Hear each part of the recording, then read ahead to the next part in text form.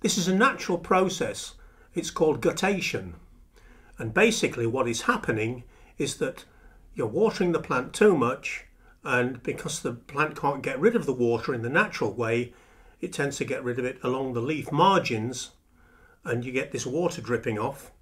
Um, if it carries on, what will happen is those cells along the leaf margins will rupture, then they'll die, they'll turn brown, and even worse, it could lead to a fungal in infection so that you finish up having to take off the whole leaf.